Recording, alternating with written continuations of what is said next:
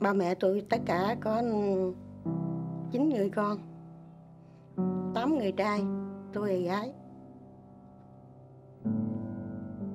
Không là vì à, hầu pháp á là ngã xuống bốn anh.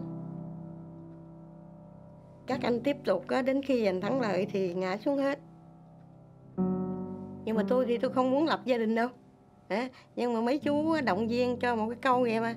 Nếu à, cháu chiến đấu mà cháu không sản xuất á, thì ừ, lấy ở đâu mà mà chiến đấu? Thì mới tới tôi á, thì tôi có gia đình có được hai thằng con trai. Thì à, cháu lớn lên thì cháu cũng đi bộ đội.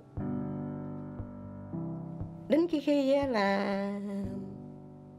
năm 75 á, thì à, chuẩn bị để giành thắng lợi năm 75 á, thì à, ngày 1 tháng 2 á, năm 75 á, thì hai đứa nhỏ ngã xuống.